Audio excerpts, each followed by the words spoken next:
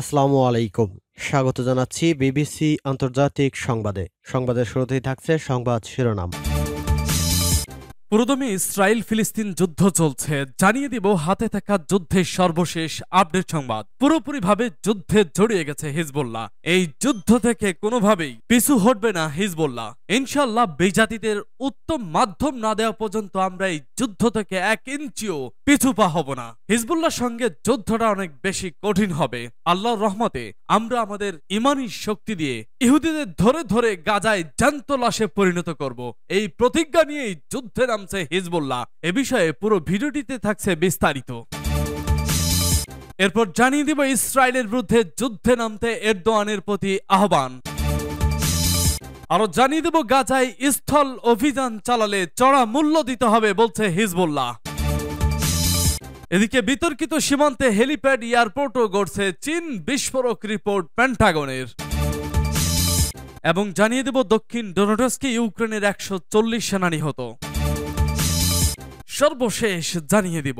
ফিলিস্তিনিদের পক্ষে যুদ্ধে যেতে চান UFC star Khamzat Chimaev. Chechen নেতা রমজান কাদিরবের কাছে চিঠি। শুনছিলেন সংবাদ শিরোনাম, এখন বিস্তারিত। তবে তার এখন অনুরোধ থাকবে, ভিডিওটিতে একটি লাইক এবং কমেন্টস করে জানিয়ে দিন। এই ভিডিও সম্পর্কে আপনার মূল্যবান মতামত। আর হ্যাঁ বন্ধুরা, অবশ্যই ঝটপট করে এই ভিডিওটি আপনার সোশ্যাল মিডিয়ায় অথবা আপনার ফেসবুকে শেয়ার দিয়ে ছড়িয়ে দিন। আর জানিয়ে দিন আপনি কোন জেলা থেকে বা কোথা থেকে আমাদের সংবাদ শুনছেন এবং দেখছেন। আলহামদুলিল্লাহ, ইসরায়েলের বিরুদ্ধে যুদ্ধে নামতে এরদোয়ানের প্রতি আহ্বান। ফিলিস্তিনের অবরুদ্ধ গাজা উপত্যকায় নির্বিচারে ইসরায়েলি হামলার বিরুদ্ধে শুরু থেকেই অবস্থান নিয়েছে তুরস্ক।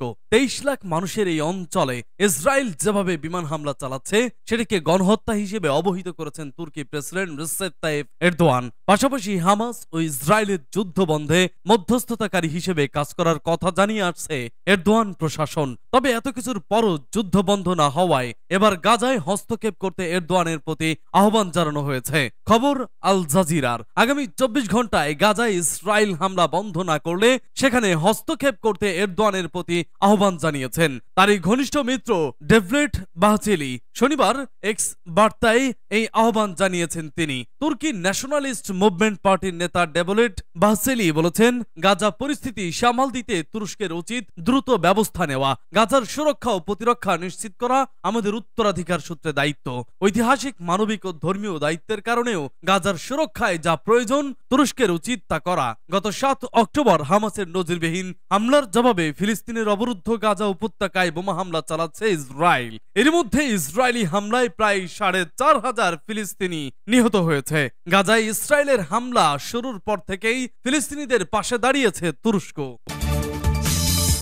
লেবাননের সীমান্তে ইসরায়েল হিজবুল্লাহর সংঘর্ষে নিহত সাত। গাজায় চলমান যুদ্ধের মধ্যে ইসরায়েল লেবাননের সীমান্তে নতুন করে ছড়িয়ে পড়েছে সংঘাত। শনিবার লেবাননের সশস্ত্র গোষ্ঠী হিজবুল্লাহ এবং ইসরায়েলি সেনাদের মধ্যে হামলা, পাল্টা হামলার ঘটনা ঘটেছে। এই সংঘর্ষে হামলায় হিজবুল্লাহ ছয় যোদ্ধা এবং ইসরায়েলি সেনা নিহত হওয়ার খবর পাওয়া গেছে। শনিবারের সংঘর্ষে হিজবুল্লাহর বিভিন্ন লক্ষ্যবস্তুতে বিমান হামলার কথা জানিয়েছে ইসরায়েল। এদিকে ইসরায়েল ও হিজবুল্লাহর মধ্যে ছড়িয়ে পড়া এই সংঘাতে সীমান্তের উভয় পাশের বাসিন্দারা তাদের বাড়িঘর ছেড়ে পালাতে বাধ্য হয়েছেন।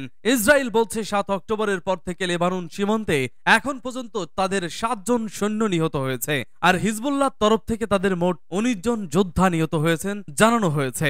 লেবানন সীমান্তে সহিংসতায় রয়টার্সের একজন সাংবাদিক সহ বহু বেসামরিক নাগরিক ও সাংবাদিক প্রাণ হারিয়েছেন। এর আগে ইসরায়েলি প্রতিরক্ষা মন্ত্রী শীর্ষ স্থানীয় নেতাদের সঙ্গে এক বৈঠকে বসেছিলেন। সেখানে তিনি বলেছেন, হিজবুল্লাহর সঙ্গে যুদ্ধটা অনেক বেশি কঠিন হবে। এ কারণে উত্তর ফ্রন্টে যুদ্ধের জন্য বড় ধরনের প্রস্তুতি জরুরি। এদিকে হিজবুল্লাহর উপ মহাসচিব শেখ নাইম কাসেম শনিবার রাতে টেলিভিশনে সরাসরি সম্প্রচারিত এক বক্তব্যে বলেন, হিজবুল্লাহকে চলমান যুদ্ধে হস্তক্ষেপ না করার জন্য বহু পক্ষ থেকে চাপ সৃষ্টি করা হচ্ছে। তিনি বলেন, আমরা এখন যুদ্ধের ঠিক মাঝখানে ঢুকে পড়েছি এবং এখান থেকে বেরিয়ে যাওয়ার কোনো আর সুযোগ নেই। যারা আমাদের সঙ্গে যোগাযোগ করছে তাদেরকে আমরা স্পষ্ট জানিয়ে দিয়েছি, আগে দখলদার সেনাদেরকে আগ্রাসন বন্ধ করতে হবে, তবেই এই যুদ্ধের বিস্তার রোধ করা যাবে। সূত্র রেডিও তেহরান ও রয়টার্স। গাজায় স্থল অভিযান চালালে চড়া মূল্য দিতে হবে বলছে হিজবুল্লাহ। গাজা উপত্যকায় স্থল অভিযান শুরু করলে ইসরায়েলকে চড়া মূল্য দিতে হবে বলে হুঁশিয়ারি দিয়েছেন হিজবুল্লাহর একজন শীর্ষ নেতা। তিনি বলেছেন, লেবাননে অবস্থানরত তার যোদ্ধারা যুদ্ধের সব প্রস্তুতি নিয়ে রেখেছেন। আজ রবিবার আরব নিউজের এক প্রতিবেদনে বলা হয়েছে, গত শনিবার হিজবুল্লাহর উপনেতা শেখ নাইম কাসিম এ হুঁশিয়ারি দিয়েছেন। কাসিম এমন সময় এ মন্তব্য করলেন যখন ইসরায়েল দক্ষিণ লেবাননে গোলাবর্ষণ ও ড্রোন হামলা চালিয়েছে। পাল্টা আক্রমণ হিসেবে হিজবুল্লাহ ও ইসরায়েল লক্ষ্য করে রকেট ও ক্ষেপণাস্ত্র নিক্ষেপ করেছে। হিজবুল্লাহ জানিয়েছে, শনিবার তাদের ছয় যোদ্ধা নিহত হয়েছেন, যা দুই সপ্তাহ আগে সহিংসতা শুরু হওয়ার পর থেকে সর্বোচ্চ। হিজবুল্লাহর জন্য লেবানন, ইসরায়েল সীমান্ত উত্তপ্ত করার একটি সুস্পষ্ট উদ্দেশ্য রয়েছে। নাইম কাসিম বলেন, আমরা ইসরায়েলি শত্রুকে দুর্বল করার চেষ্টা করছি এবং তাদের জানাতে চাই যে আমরা প্রস্তুত। আর হামাসের কর্মকর্তারা বলেছেন, ইসরায়েলি যদি গাজায় স্থল আক্রমণ শুরু করে, তাহলে হিজবুল্লাহ যুদ্ধে যোগ দেবে। ইরান সমর্থিত হিজবুল্লাহর হাজার হাজার রকেট ও ক্ষেপণাস্ত্রের পাশাপাশি বিভিন্ন ধরনের ড্রোন আছে। সংগঠনটি উত্তর ইসরায়েলে বড় আকারের আক্রমণের মাধ্যমে ইসরায়েল হামাস যুদ্ধে একটি নতুন ফ্রন্ট খোলার চেষ্টা করতে পারে বলে উদ্বেগ প্রকাশ করেছেন অনেকেই। শনিবার হিজবুল্লাহর এক যোদ্ধার শেষকৃত্যের সময় দেওয়া ভাষণে নাইম কাসেম বলেন, আমরা যুদ্ধের কেন্দ্রবিন্দুতে আছি। এই লড়াইয়ের মধ্য দিয়ে আমরা সাফল্য অর্জন করছি। বিতর্কিত সীমান্তে হেলিপ্যাড এয়ারপোর্টও গড়ছে চীন বিস্ফোরক রিপোর্ট পেন্টাগনের গোপনে প্রকৃত নিয়ন্ত্রণ রেখা বরাবর নিজেদের শক্তি বাড়িয়ে চলছে চীন। লাদাখ সীমান্তে হেলিপ্যাড নতুন রাস্তা গোপন সুড়ঙ্গ, এমনকি ছোট এয়ার স্ট্রিপ পর্যন্ত তৈরির কাজ শুরু করেছে জিংপিং প্রশাসন। এমনটাই দাবি পেন্টাগনের যা রীতিমতো উদ্বেগ বাড়াবে নয়াদিল্লির। পেন্টাগনের রিপোর্ট অনুযায়ী দুই হাজার বাইশে গালওয়ানে ভারত এবং চীনের সেনার সংঘর্ষের পর থেকেই চীনের পিপলস লিবারেশন আর্মি প্রকৃত নিয়ন্ত্রণ রেখা বরাবর পরিকাঠামো গড়তে সক্রিয়। ওই সংঘর্ষের পর দুই দেশ আলোচনার টেবিলে বসেছে ঠিকই, কিন্তু চীন ভারতীয় সীমান্তে আধুনিক পরিকাঠামো গড়ে তোলার প্রক্রিয়া থামায়নি। বেশ কয়েক দফা শান্তি বৈঠক হলেও সেই বৈঠকের কোনো প্রভাব চীনের সেনা সমাবেশ পড়েনি বলেই জানাচ্ছে পেন্টাগন ওই রিপোর্ট অনুযায়ী লাদাখ সীমান্তে চীন স্থায়ী সুড়ঙ্গ, নতুন রাস্তা প্রতিরক্ষার কাজে ব্যবহৃত এয়ারপোর্ট এবং হেলিপ্যাড তৈরির কাজ চালাচ্ছে। চীনের ওয়েস্টার্ন কমান্ড থিয়েটারের প্রচুর সেনা ভারত সীমান্তে মোতায়েন করা হয়েছে। শুধু লাদাখ নয়, ডোকলামেও একই রকম সেনা মোতায়েন করেছে চীন। এমনকি ভারতের সঙ্গে বিতর্কিত ভূখণ্ডে চীন যে গ্রাম বানিয়ে ফেলেছে, সেটাও উল্লেখ করা হয়েছে প্যান্টাগনের রিপোর্টে। প্যান্টাগনের রিপোর্ট অনুযায়ী চীন ভারতীয় সীমান্তে রীতিমতো যুদ্ধ প্রস্তুতি শুরু করে দিয়েছে, যা নয়াদিল্লির জন্য উদ্বেগজনক। তবে নয়াদিল্লি এখনও এ নিয়ে কোনো প্রতিক্রিয়া জানায়নি।